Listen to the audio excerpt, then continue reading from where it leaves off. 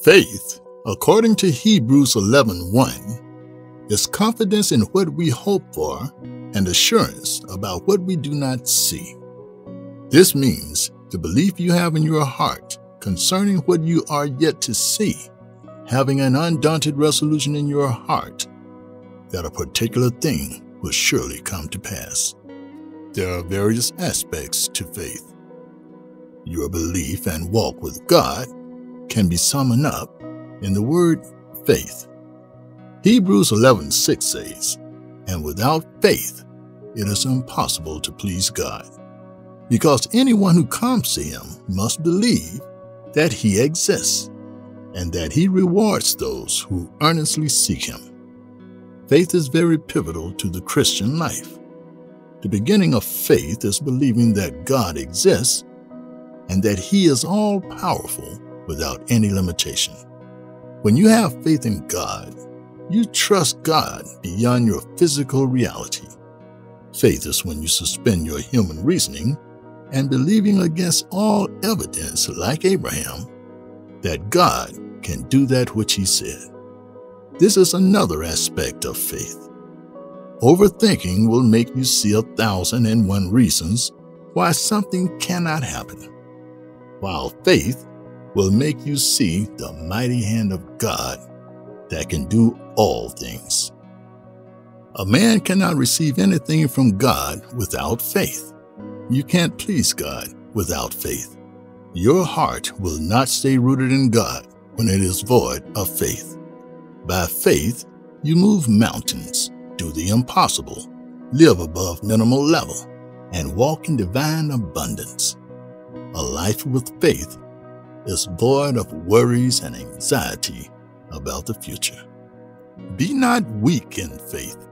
No matter how dark it may be right now, your faith will bring light to the situation.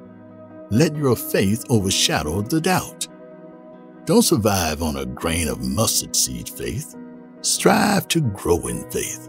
The stronger your faith, the more you receive from God, and the closer you will be to Him. Do you desire a more intimate relationship with God? The key to that is faith, trusting God only and never looking to anyone else or anything else for answers. The opposite of faith is fear and doubt. When Jesus was walking on the water to meet his disciples at night, Peter requested that he join him. He started walking on water towards Jesus.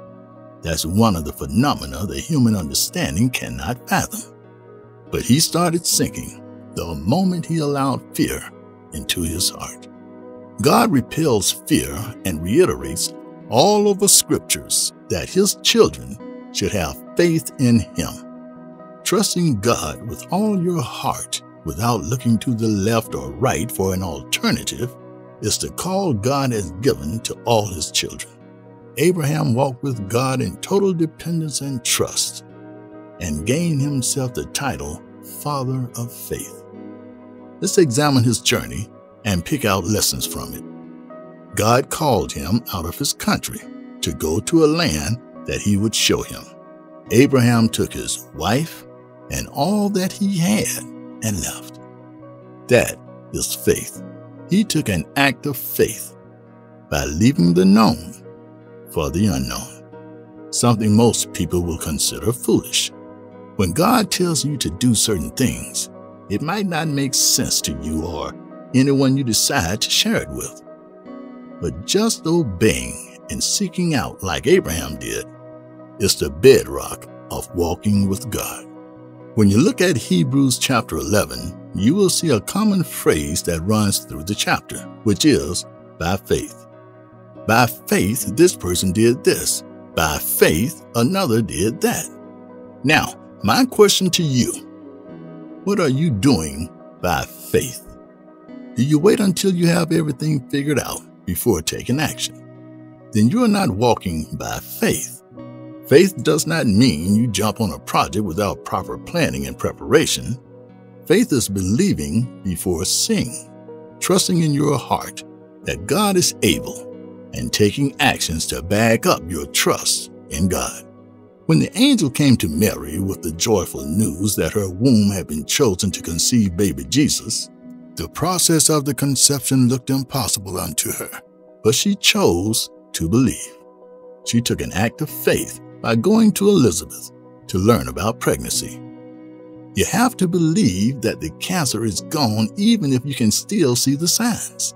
Waiting until you can physically see changes before believing is not faith. In the healing ministry of Jesus on earth, he will often say to the people who came to him, Be it unto you according to your faith. And instantly they received what they were looking for. In this kingdom, you have to believe before seeing.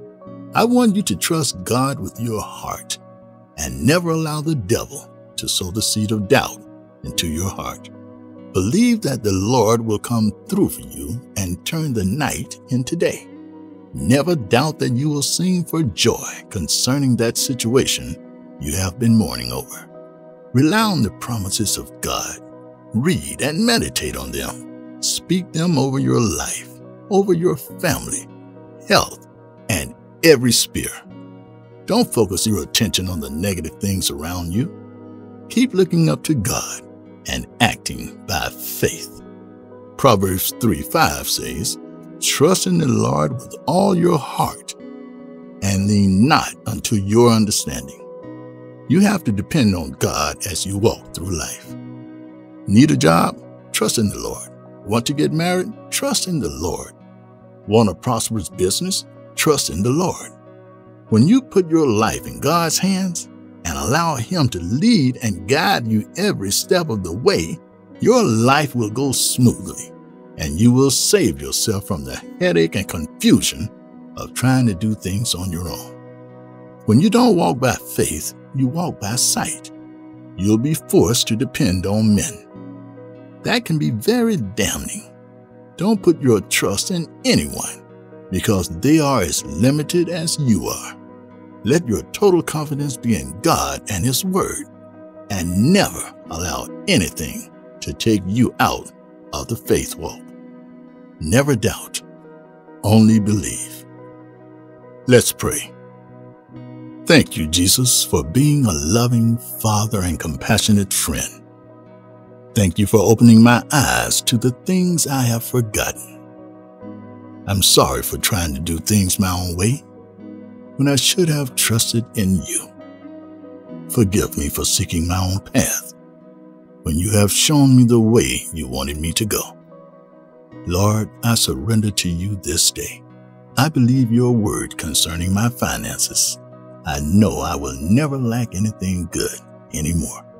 It might not look like it right now, but I choose to believe you. Strengthen my faith and hope in you. When I get caught up in doubt and fear, help me find my way back to you. In Jesus' name. With the eyes of faith, I see every negative situation in my life turning positive according to your word. Help me, Heavenly Father, to keep my mustard seed confidence in you. However, I request that you water it so that it may grow.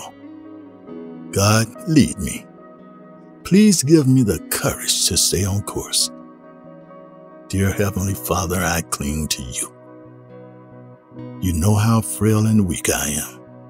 Let your power come down upon my life and make my faith stronger than any voice from the enemy. Help me walk in wisdom, accuracy, and divine perception. In Jesus' name. You are my rock and fortress my God whom I will trust. Though the way seems dark, I'll keep trusting in you. Though I may not see how you will work it out, I choose to trust in you all the days of my life. With man, many things may be impossible, but with God, all things are possible. Please make all my plans succeed. Clear away obstacles and make my path smooth. Father, your word is dependable and your promises are trustworthy. When I'm afraid, I know I can turn to you for refuge. Please remind me to trust you whenever I face difficulties. Teach me to always rely on you when I am faced with hardships. Carry me through difficult times. Lord, uphold me firmly with your right hand, that I may not give in to temptations. Help me to always depend on you. Help me to always remember that you're never late, but always on time. I pray for the spirit of patience and perseverance to wait on your promises, yet without losing hope, just like Father Abraham did. Grant me the grace, Lord. Please strengthen me. I covered the audacity and courage of Father Abraham to launch out to the unknown without questioning. Lord, I know I can't do this based on my human mind. I always love to analyze and strategize. I admit my limitations, Lord. I ask for mercy and grace to believe your ways, to trust you to guide me without asking questions. Let it be released unto me, Lord. I also pray for a noble heart to dutifully receive your word at all times. May this be granted unto me in Jesus' name. Father, open my eyes to see you. Open my eyes to see you at work in and around me. Nothing happens by accident. You plan every detail of my existence. Help me to believe in what I can't see and to trust in your unseen presence. I trust you, Lord, over my business, that you will perform your miracle of abundance and multiplication. Over my health, I believe that you will bring every sickness under my feet. Over my academics, I pray that the spirit of excellence and wisdom will rest upon me. In Jesus' name. O God of heaven, let my life be a living testimony of your intervention and power. Let me overcome every fear that has held me down in captivity. Help me to walk with you in total confidence and dependence. Take my eyes away from the things of this world and, and let my gaze be fixed on you alone. You are my God, and I will take action on the things you have asked me to do even if I don't understand. I will respond like Mary and faithfully receive your word in my heart. I also pray for the grace and spiritual stamina to live by faith and not by sight, to discern by the sensitivity of the Spirit and not by physical evidence. This shall be released upon me in Jesus' name. Give me the grace, dear Lord, to study, meditate, and memorize your promises concerning my life, so that when I face any situation, I will be able to rest on you and never entertain doubt in my heart. You are the creator and ruler of the world, God, and your words hold each and every cell in my body together as I ponder on your sustaining power and provisions for the birds and beauty for the flowers, strengthen my trust. May my faith in you increase daily. I give you all the praise for taking all fear away from my heart. I receive the heart of faith to depend on you right now. Thank you, Lord. In Jesus' name. Amen.